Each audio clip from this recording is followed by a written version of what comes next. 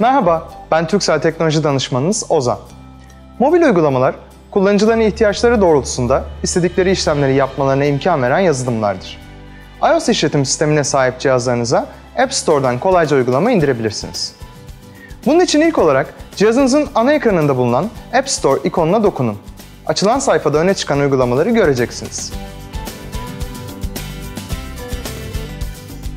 Sol üstte yer alan Kategoriler butonuna dokunarak farklı kategorilerdeki uygulamalara erişebilir, ilginizi çeken uygulamaların logolarına dokunarak uygulama hakkında detaylı bilgiye, yorumlara ve ekran görsellerine ulaşabilirsiniz.